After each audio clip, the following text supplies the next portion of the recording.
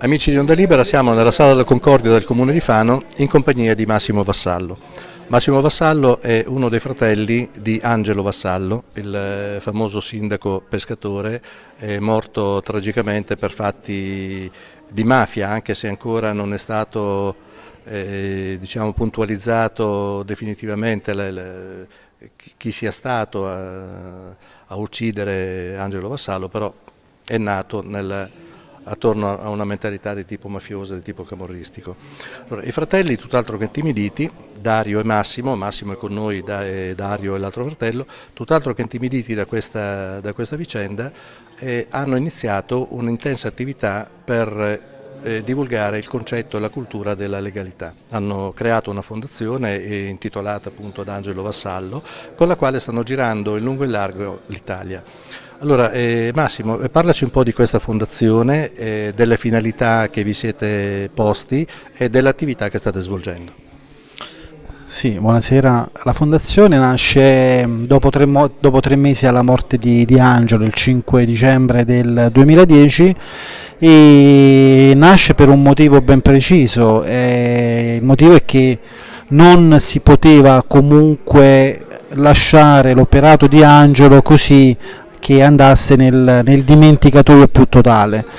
Quindi con Dario e la moglie di Angelo abbiamo messo su questa fondazione e sono passati 5 anni e qualche mese dal 5 dicembre del 2010, data di nascita, abbiamo girato l'Italia in lungo e largo, parliamo di legalità ma soprattutto parliamo dell'operato di Angelo, parliamo della di quello che lui ha fatto e che la cosa più bella è che quello che lui ha fatto sembrerebbe ai più quasi eh, inverosimile eh, dimostriamo e raccontiamo ai giovani delle scuole che, che, amministratori onesti ci sono sul territorio e che possono tranquillamente vivere e eh, svolgere il loro lavoro eh, fino a quando poi non inizia a dare fastidio a dei poteri che magari sono più forti di quello che tu immaginavi.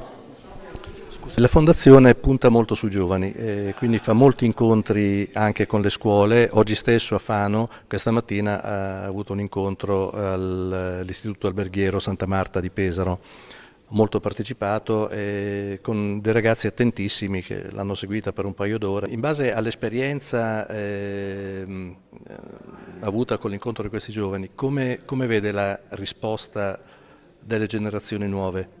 In merito al concetto di legalità, al concetto di, di Stato di diritto, eccetera.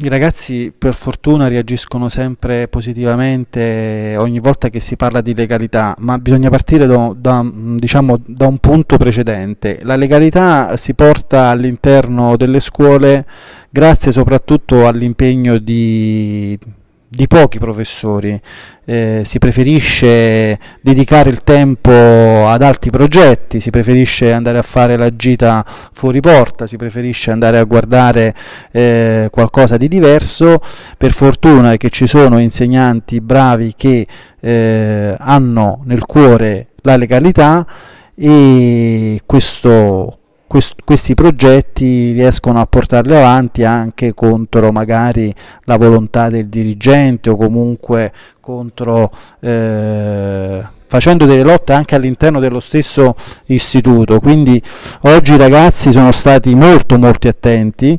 Ringrazio Paolo Pagnoni no giusto Paolo Pagnoni per avermi invitato perché oggi è l'ennesima dimostrazione che quando si parla di legalità ai ragazzi questi sono non attenti, sono di più, nel senso che se ne parla troppo poco e eh, se ne parla sempre in maniera astratta.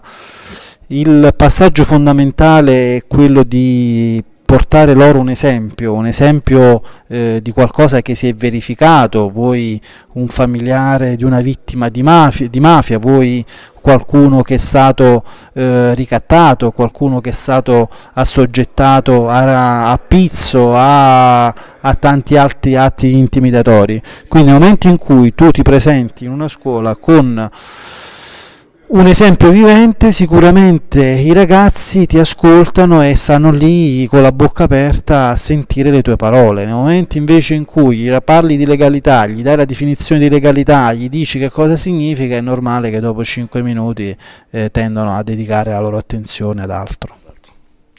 Bene. Grazie e complimenti per l'attività che state svolgendo, insomma, è un'attività veramente eh, importantissima in un periodo storico come questo soprattutto. Grazie. Grazie a voi, grazie. Amici di Onda Libera, un saluto.